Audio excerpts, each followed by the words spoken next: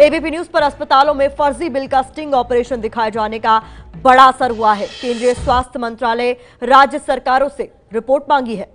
घंटी बजाओ के स्टिंग में दिखाया गया था कि कैसे दिल्ली और आसपास के निजी अस्पतालों में फर्जी बिल का काला धंधा चल रहा है। इन अस्पतालों में कैसे इलाज के लिए दलालों का नेटवर्क काम करता है? हमने आपको दिखाया था कि इलाज में मोटी रकम वसूल कर अस्पताल एजेंट को कमीशन देते हैं।